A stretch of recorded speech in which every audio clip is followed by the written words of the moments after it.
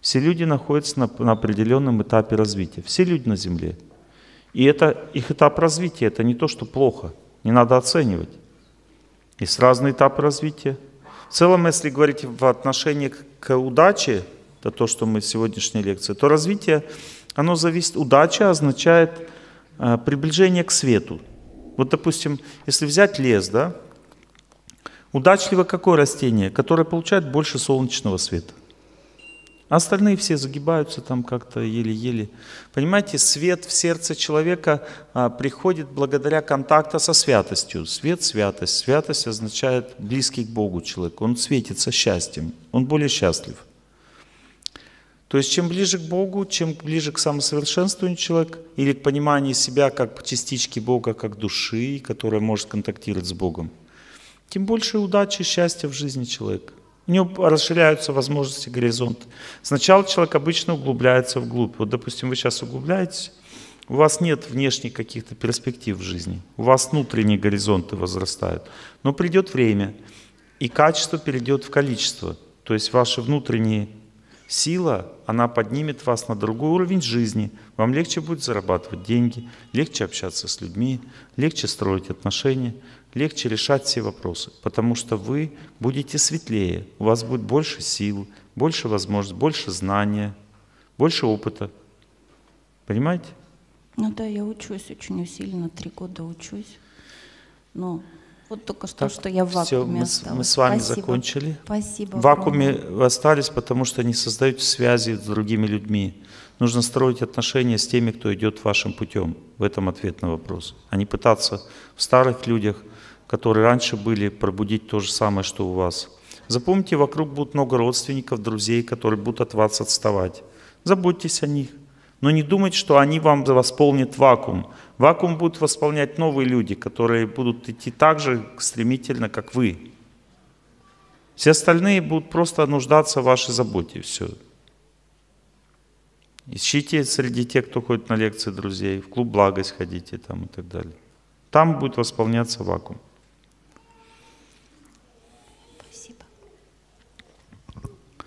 Так, первая категория людей – это люди, которые имеют такое восприятие мира. Это значит, что мало солнца они получают. Солнце в скобках Бога. Или света, или счастья. Можно по-разному говорить. Да? Как выглядят эти люди? Для них мир создан из атомов, молекул и энергии. Он возник из большого взрыва.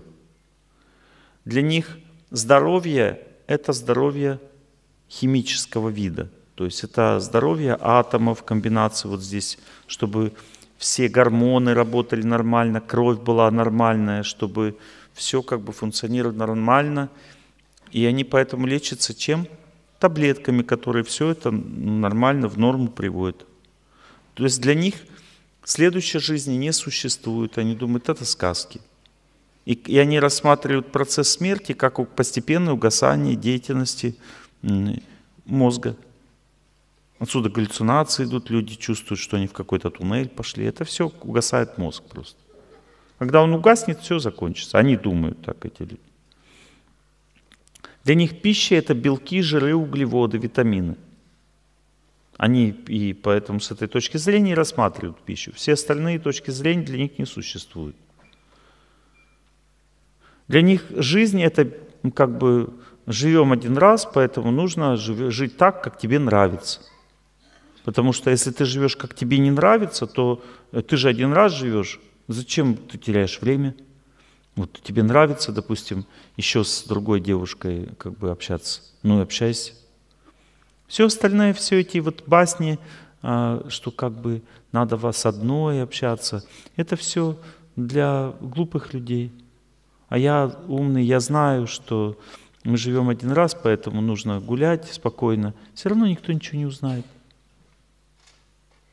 Живи как хочешь, наслаждайся жизнью. Живем один раз. Кушай белки, жиры, углеводы. Вот. Заботься о своем теле. Называется телесная концепция жизни. Человек чувствует себя телом. Заботься о теле. В лучшем случае это зарядки там всякие и так далее. Забудьте о теле. Тело красивое, значит все нормально. Близкий человек, жена — это тело. Поэтому любовь — это секс. Другой любви нет. Если секс плохой, нечего жить с человеком, надо найти себе другого. Сексопатолог говорит, найдите себе другого партнера. Они даже не называют это близким человеком, они говорят, партнера найдите. Партнер — это другое тело, с которым ты совершаешь любовь. Любовь означает секс. Совести в жизни нет у таких людей. Хотя они, они иногда говорят, когда боятся, что их кто-то бросит там. Они говорят о совести, но у них у самих нет совести. Они не брезгуют э, ни мясом, ни спиртным, ничем, потому что как бы все, что помогает быть счастливым, хорошо, все, что не помогает, плохо. Если тебе хорошо, значит ты правильно живешь. Если неплохо, неправильно. Если тебе что-то нравится, это истина, а не нравится ложь. Так мыслят эти люди. Теперь вы спросите, как бы, ну это плохие же люди. Нет, это не плохие люди. Просто они настолько развиты, насколько они мыслят. Они хорошие, все люди среди них есть вообще очень хорошие. Но они вот так развиты. У них нет глубокого восприятия мира, к сожалению. Потому что они этим не занимались никогда в жизни. Они всю жизнь зарабатывали деньги, э, всю жизнь пили на квартиру. То есть почему так? Потому что это примитивное восприятие мира. Человек что видит, то и делает. Ну, то есть вот он видит, что в этом мире надо дышать, он дышит, надо есть, он кушает, надо квартира, защита, он получает защиту. То есть он делает то, что ему прямо сейчас надо. Мотивация жизни – страх. То есть если я этого не буду делать, то я буду страдать, боиться. Поэтому он так живет. Есть что-то стабильное в этой жизни? Ничего стабильного нет. Потому что отношений нет глубоких с женой. Секс заканчивается. Привязанность, наслаждение сексом с любым человеком заканчивается. Это все надоедает с каждым человеком. Устает человек от этих отношений. Потом новые надо. Стабильности нет. И так далее.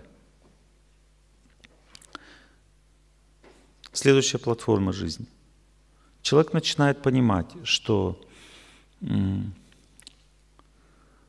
есть что-то такое лучше, чем просто вот секс. Например, если у нас хорошее здоровье, если у нас как бы много энергии, много сил, если у нас есть движение, допустим, спорт, сырая пища, которая дает энергию тоже. То есть человек переходит с телесной платформы постепенно на платформу энергии – кстати, в лучшем случае он начинает питаться сырой пищей, которая дает много энергии. Он перестает есть пищу, которая дает мало энергии. То есть, допустим, вареная пища дает мало энергии, он ее не ест. Такой человек старается больше двигаться, потому что он знает, что движение – это жизнь. И это правда. Больше здоровья от такой жизни. То есть человек становится более удачливым, потому что у него легкость от такой легкой пищи, у него легкость теле, в психике.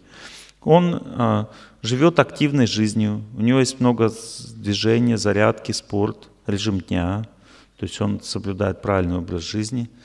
А для этого человека лечение – это факторы природы, это солнце, воздух, вода, уже не, не таблетки. В результате на этой пранической концепции жизни, телесной пранической, человек как минимум получает хорошее настроение – он получает хорошее здоровье, жизнерадостность, успех, успех, потому что у него больше сил, он может э, горы свернуть, у него появляется сила воли, решимость на этой стадии, возможность преодолевать трудности. Вот. Такой человек стремится быть сильным, властным и начинает понимать смысл в деньгах очень много. Он начинает пытаться их зарабатывать параллельно тому, что он спортом занимается. Он хочет энергии, влияния. Также он хочет власти, потому что больше влияния. Следующая концепция более высокая. Это концепция, в которой сознание переходит с энергии, просто с энергетических ресурсов переходит на ум. Ум — это такая структура, в которой мы живем – То есть это тонкое восприятие мира. То есть человек начинает испытывать счастье от глубоких отношений. В это время человек начинает изучать, что такое семейные отношения, кто такая женщина, кто такой мужчина, как устроен их характер. Он начинает характер пищи изучать, он начинает понимать, что фрукты дают энергию оптимизма, овощи, наоборот, успокаивают, дают спокойствие, расслабление, которые растут на земле. Корни дают человеку защитную энергию, дают как бы способность справляться с инфекциями. Зерна дают способность думать, Эм, умственной деятельностью заниматься. Бобовые дают силу мышцам, дают крепость телу. Он начинает понимать, что ягоды дают способности в организме убирать токсины, улучшают обмен веществ. То есть он начинает пищу воспринимать с позиции настроения, характера. Он понимает, что мясо – это пища, которая дает депрессняк. Он поэтому ее есть не хочет. Хоть там много витаминов, жиров, белков. Вот. Такой человек понимает, что яйца – это пища, оскверняющая сознание, потому что она идет из, как, из плаценты курицы, из нижних центров психических, которые оскверняют. Он хочет пищу, которая из высших центров идет кушать. Это молочная пища, она идет из сердца, из зоны сердца коровы. Как у женщины из зоны сердца идет молоко, от сердца оно идет. Так и корова тоже от сердца молоко дает. Эта пища дает любовь, просветление, легкость сознания. Такой человек на платформе умственной концепции жизни, он начинает чувствовать очень глубокие отношения, он начинает понимать, что такое нежность, красота, доброта, какие-то чувства глубокие, он начинает понимать, что такое стихотворение Пушкина, допустим, «Унылая пора», там, «Очарование», или, допустим, еще какие-то стихотворения очень возвышенные, чистые. Он начинает все это чувствовать, видеть. У него появляется понимание, как устроена женщина. Он может с ней строить правильные отношения. Женщина понимает, как устроен мужчина, может с ним правильные отношения а, строить. И вроде бы все классно. Когда человек доходит до этой концепции, и она входит в его сознание очень глубоко, то с этого момента человек не, ну, не страдает в личной жизни, он не страдает со здоровьем, у него легкий, радостный характер, он удачу получает в жизни. Он всем рад, ему все нравится. Он чувствует, что люди хорошие сами по себе. Удача приходит в жизнь такого человека, потому что он видит глубже мир. Он уже не хочет идти э, в Эрмитаж, он идет в, эту, э, в русский музей. Почему там? Потому что там глубина в картинах, там не, не то, что одни портреты там и сражения. Он видит природу, видит святые иконы, там и так далее, он начинает глубже воспринимать мир. Не попсовое восприятие мира, а глубокое восприятие. Начинает Айвазовского смотреть, там, Шишкина, там, Репина там, и так далее. Картины, которые дают глубину и так далее, понимаете? В этом, на этой концепции человек начинает понимать, что жизнь не заканчивается в этом теле. Он чувствует, что он вечный по природе что дальше опять он, он начинает чувствовать, что он жил раньше до этого. Он начинает понимать, что сны, когда он особенно ему снится какие-то события в жизни. Обычно люди говорят, это наваждение было. Но человек на этой платформе уже знает, что это не наваждение, эти сны — это его прошлые жизни — вот все яркие сны, в которых мы видим события, это просто наши точно прошлые жизни. Это сто процентов. Просто часто человек не может понять, откуда этот сон взялся, с какой конкретно жизни. Но это все от нас. И просто память возбуждает то, что мы прожили во время сна. Это все реальные вещи, просто они часто перепутываются с этой жизнью, что-то соединяется. То есть нельзя точно понять, что там было, потому что идет небольшая мешанина, перепутывается с тем, что сейчас, с нашим опытом в этой жизни перепутается. Но человек, который э, понимает глубже свою природу, он начинает понимать, что он вечный, он понимать начинает ценность снов, начинает понимать, как устроен этот мир. Но в этой концепции жизни есть одна проблема. На этой платформе жизни человек не может побеждать судьбу. Вот плохо стало жить, и он плачет, печалится. Он начинает другие стихи читать уже. Я вас любил, любовь еще быть может. Душе моя гасла не совсем. Ну, то есть, Понимаете, он уже начинает э, печальную прозу читать, когда ему плохо, и радостную, когда ему хорошо. Но он не знает, что есть способ побеждать судьбу, потому что это не та платформа. Следующая платформа развития сознания называется платформа разума. Потому что разум — это психическая структура, которая связывает человека с целью жизни, с Богом, связывает его с энтузиазмом, с волевой силой, способностью побеждать судьбу. Откуда сила воли берется? Из разума. Что это такая за сила? Это сила, которая наполняет человека более чистой энергией, чем та, которая у него есть. Это сила, которая дает перспективу в жизни, дает ощущение, что ты справишься, что ты победишь. Эта сила черпается из высших источников, потому что победа всегда идет от Бога или от святых людей. Поэтому разум — это та, такая структура психическая, которая черпает силу от источника какого-то. И связь с этим источником называется вдохновение. Стремление к этому источнику — вера человека. Стремление к, человеку, к источнику называется верой. Вернее, опыт что этот источник поможет, победит, называется верой. Стремление к этому источнику называется цель жизни человека, целеустремленность. Когда человек сильно стремится к источнику своей веры, это называется решимость. Когда человек с помощью этого источника энергии, сегодня потрясающее количество цветов, это невероятно просто. Все благодаря тому, что вы очень вдохновили, вдохновленные люди. То есть Сегодня мы будем прямо всем раздавать. Раньше ломали там хризантемы, сегодня будем всем просто раздавать по цветочку каждый. Способность укращать себя, свои привычки, желания идет от, другой, от другого вида счастья. Некоторые люди говорят, ну, надо просто заставить себя не есть мороженое. Но когда человек заставляет себя страдать, то надо понять, что если счастье лишается тела и психика, то она считает, лишается питания.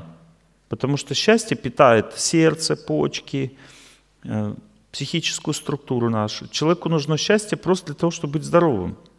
Если он себя просто чего-то лишил, не заменил себе, ничего замену не дал на более высокую, то в результате он просто теряет здоровье и начинает понимать, что Простой отказ от удовольствий не решает проблему. Нужно переводить удовольствие в более высокое русло.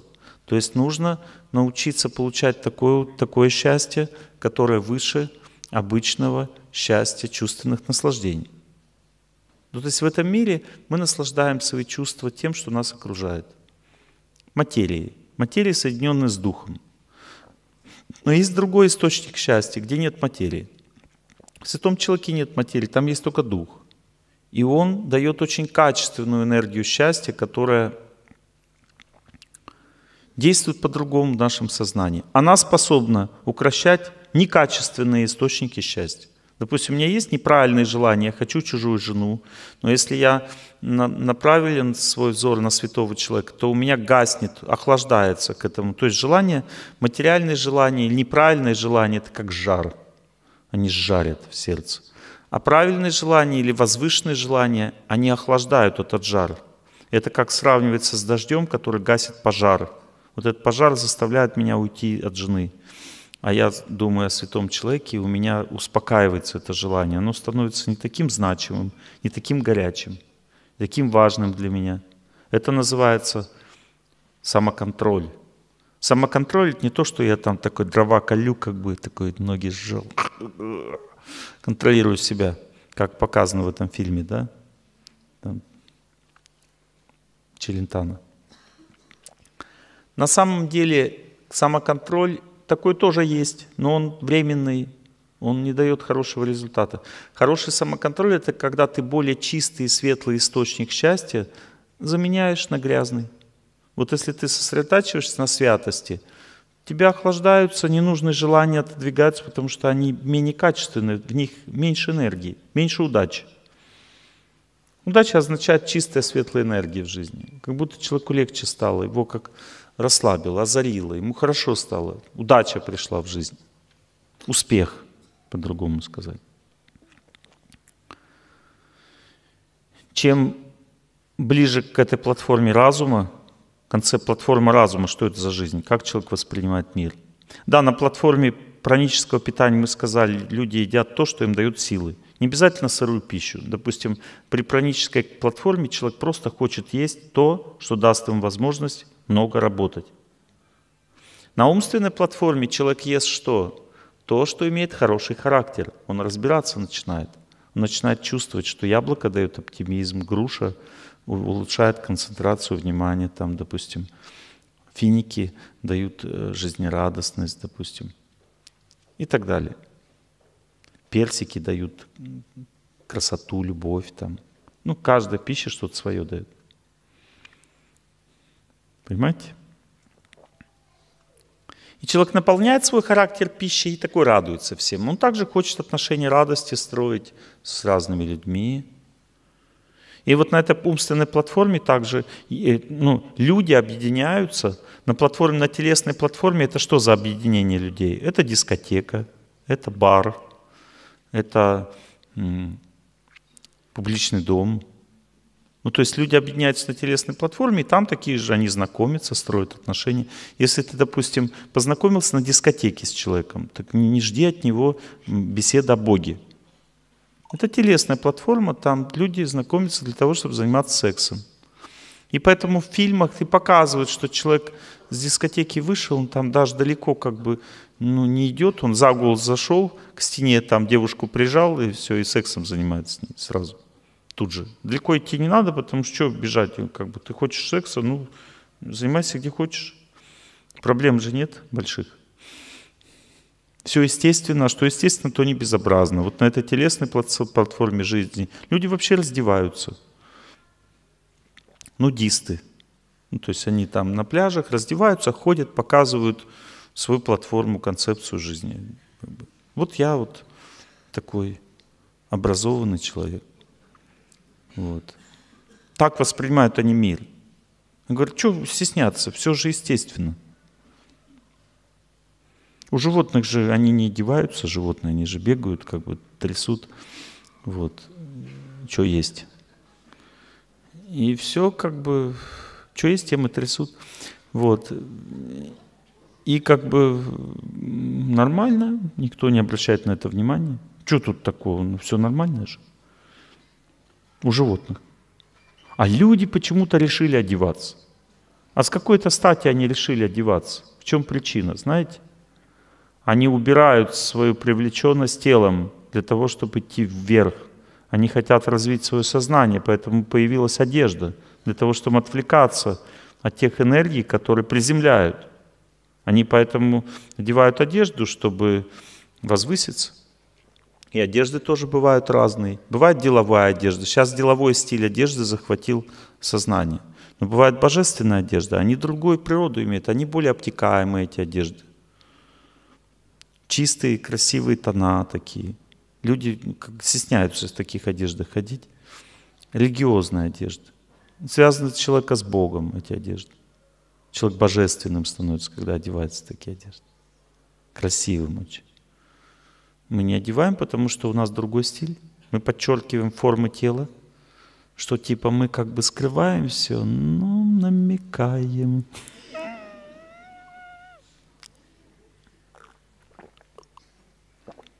И не знаем, что когда человек не намекает даже, то это красивее смотрится. Божественно, красиво очень смотрится. Более высокий вид красоты.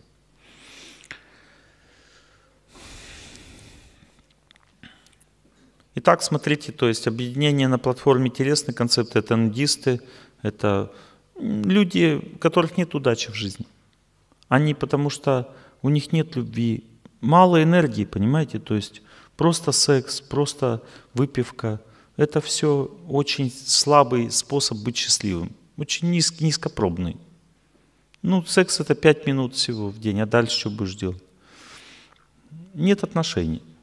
Понимаете? То есть нет отношений, нет глубины. Люди, у которых праническая концепция жизни, больше удачи, потому что они становятся сильнее, у них есть возможность достигать, у них больше возможностей, влияния в жизни. Вот. Они энергичные, сильные, как бы и так далее. На умственной платформе качественная жизнь приходит в качество. Это не просто сила. То есть сила нужна человеку. Праническая концепция нужна, за телом тоже нужно следить. Где знакомятся люди на пранической концепции? Где они встречаются? На работе. Там как бы офисные такие, служебный романс, там офисные отношения такие. Там жизнь вся протекает на работе. Там жизни, все остальное нет жизни. Я, говорит, всю жизнь только работаю и работаю. Ну что за жизнь такая? Я даже забыла, что я женщина. Знаете, это концепция жизни. Ты думаешь, что работа — это жизнь, все остальное — это не жизнь. Ты так мыслишь просто. У тебя нет глубины, нет чистых каких-то глубоких вещей. Умственная концепция жизни более высокая. Там же есть поэзия, есть театр, есть э, отношения, есть понимание характеров людей, есть глубина, понимание классики, э, Лермонтов, там, Лев Толстой, Пушкин и так далее. Человек углубляется в этот мир, он начинает глубже понимать все, что происходит. Умственная концепция. Где знакомиться? Театрах, в галереях, на балу. Не на дискотеке, это бал, это другое, это уже люди такие собираются, они танцуют вальс, допустим, там. Не так, это все вниз энергия идет. Вальс это вверх. Лалам, лалам, лалам, пам-пам. Ну, то есть, понимаете, другая энергия совсем не.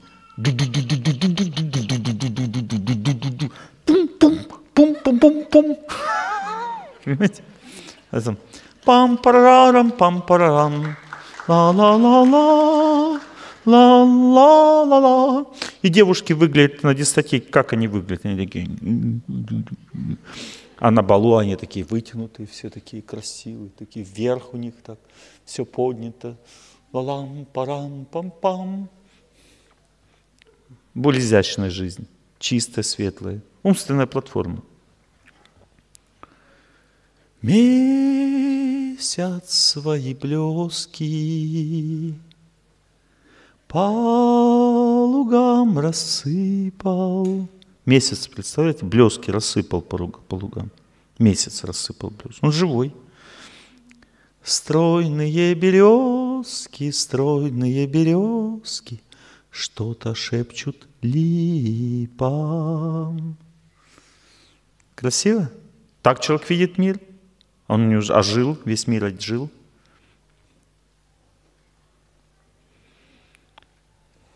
Больше счастья. Потому что поменялось сознание, восприятие мира. Знание наполнило человеческую жизнь. Его душа уже соединена не с телом, не с энергией, а с умом. В результате это другое измерение, умственное пространство. Человек начинает чувствовать настроение людей, мысли, понимает, кто его обманывает, кто нет. Когда человек на телесной платформе находится, он не понимает, кто его обманывает, кто нет, потому что он тупой.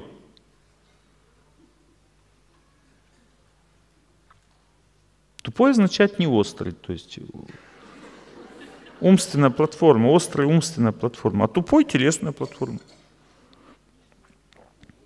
Я на этой стороне как бы озера, а речки старше, а попал на другое.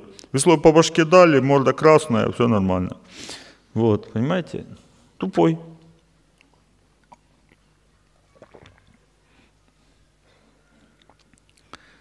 Но если человек утонченный, то он не такой сильный уже. Сила уходит в качество, то есть не, не такой сильный. Но он более проницательный, этот человек, он может предвидеть ситуацию, но он не может побеждать судьбу. Где знакомятся люди на платформе разума? На лекциях, на фестивалях духовных, в храме. Платформа разума означает, что энергия сознания пошла в разум. Это особая структура психическая, которая дает особый тип энергии. То есть разум, он настраивает на какую-то волну человека. Если разум на телесной платформе, телесная волна. Если разум на духовной платформе, духовная волна. То есть какая волна, такая сила в тебя заходит, такая энергия в тебя заходит. Если энергия хорошая заходит, то ты начинаешь себя контролировать. На телесной платформе себя контролировать невозможно, потому что зачем? Я этого хочу, это значит, я свободный человек, что хочу, то и делаю. А люди на платформе разум говорят, ты не свободный человек, ты научись делать то, чего ты не хочешь, а что надо делать. Он говорит, как, что я хочу, то и надо. На телесной платформе не понимает. Он говорит, ну как это надо? Допустим, ты бросил жену, что это надо? Ты хочешь другой девушки. Это не надо, это разрушило твою семью. Наверное, надо. Вот, понимаете? Он тупит, у него нет любви. Бросил, бросил, что такое? Но жизнь устроена по-другому. Бог наказывает. Хоть ты тупишь, хоть нет. Бросил, будешь отвечать за это.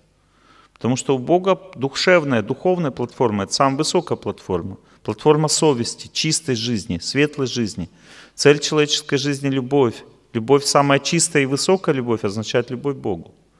Означает, что если человек правильную цель выбирает в жизни, он выходит на платформу разума, у него есть силы побеждать судьбу, у него есть силы воли, самоконтроль, он улучшает свой характер, он становится проницательным, он видит, кто хороший, кто плохой, он понимает, с кем можно дела делать, с кем нельзя, у него хорошее здоровье, он питается пищей не просто, которая дает хорошее настроение, он питается освященной пищей. Что значит освященная пища? Пища, соединенная с Богом.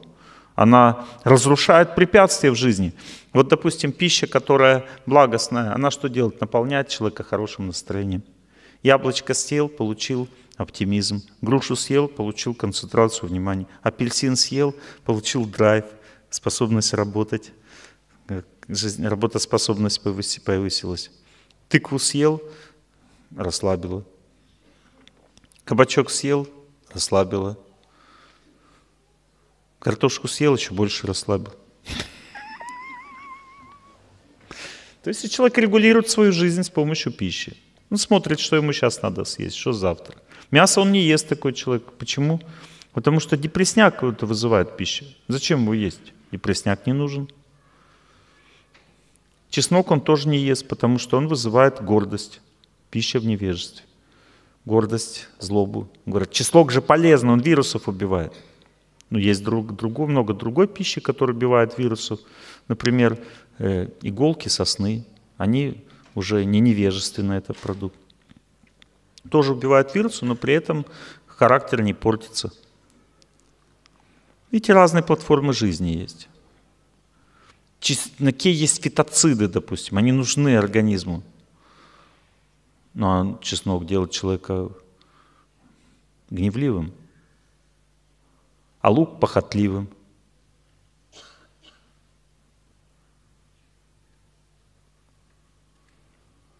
А, допустим, та же самая специя софетида, она вкус лука имеет, но похотливым человека не делает.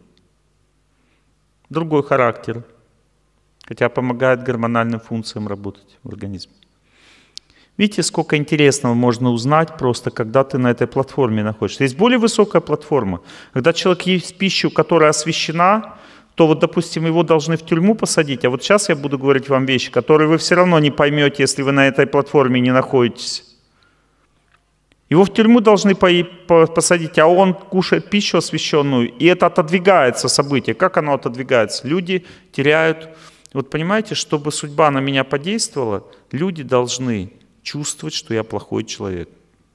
Человек ест освященную пищу, и вот это чувство, что он плохой, растворяется. Эта пища растворяет ощущение, что ты плохой. Теряется импульс тебя наказать. Ты поел освященную пищу, импульс тебя наказать теряется, то есть нет сил, ни желания нет, ничего нет, не хочется. Вроде бы надо, но не хочется. И человек говорит, ну ладно, пусть живет, пока на свободе ходит.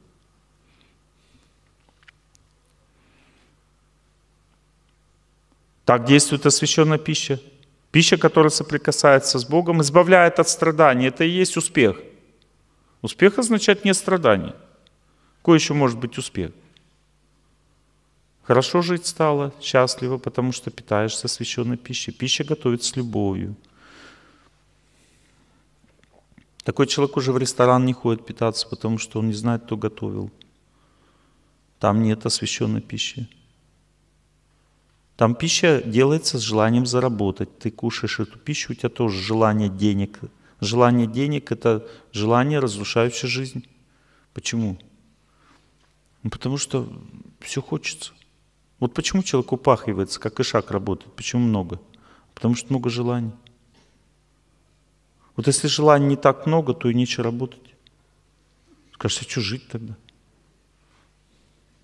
Потому что есть более возвышенные вещи. Допустим, желание, допустим, купить машину, можно работать 10 лет. А желание, допустим, э, цветы подарить жене гораздо меньше. То есть желания бывают разные. Счастье означает желание, это факт, но может быть счастливым из других желаний. Ближе к душе желания бесплатные все. Вот, допустим, я желаю тебе счастья, вообще бесплатно. А если цветы дарить, уже что-то стоит. А если машину еще дороже, квартиру еще дороже. Понимаете? И человек, когда у него более приземленные желания, он испытывает счастье от цветов, это более высокая, это умственная платформа. Жена говорит, мне не надо бриллианты, просто цветы подари мне с любовью. С любовью. И тогда мне счастье придет. И это так и есть. А бриллианты не с любовью, кажется, что счастье, но не сильно. Почему счастье, может, дорогие? Человек чувствует защиту, продам, буду жить. Ну, если не надо будет. Понимаете, я вам утрирую все. Я не против бриллиантов, машин, квартир. Не против. Я говорю разницу. Человек, у которого возвышаются желания, ему легче становится жить, потому что меняется, трансформируется желание. Он счастье напрямую получает. Чем ниже концепция жизни, тем для, до счастья дольше идти. Вот, допустим, если у меня самая высокая концепция жизни, я люблю жену просто сердцем, а вот если у меня низкая концепция жизни, чтобы любить, надо как-то ее раздеть, там куда-то завести, так ее уговорить, чтобы она согласилась на секс. Это столько все надо делать, это надо и там квартиру для этого условия. А так ты любишь просто сердцем человека, бесплатно. Любовь уже достигнута, все, ты получил любовь, тебе хорошо, у тебя счастье, не надо слишком много работать для этого. Я утрирую все для того, чтобы вы поняли, что чем больше вот эта высокая концепция, тем больше успеха в жизни. Потому что ты достигаешь всего легче, ты становишься более образован, у тебя сильная воля, у тебя хорошая концентрация внимания. Ты выглядишь хорошо, потому что ты проницательный человек, добрый человек, у тебя хорошее настроение. У тебя правильно меняется статус в обществе, потому что человек становится более трудолюбивым, щедрым, добрым, там, ну, как бы его больше уважают. Это больше успеха. Ему меньше надо в жизни, понимаете, самому.